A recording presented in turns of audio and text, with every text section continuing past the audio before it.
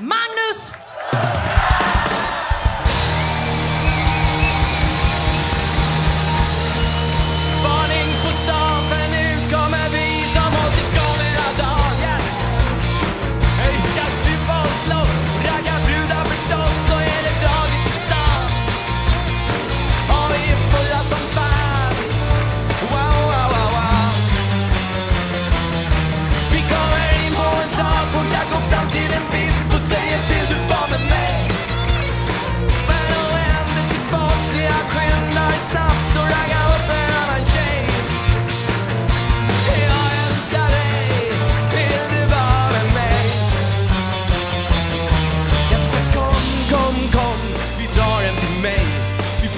kramat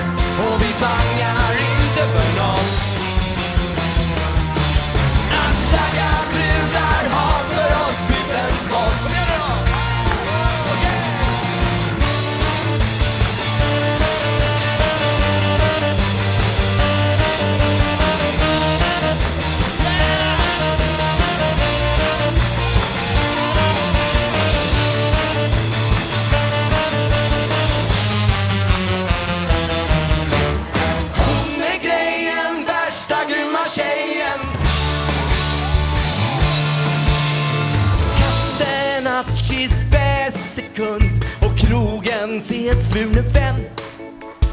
En som sällan fått en blund innan gryningen.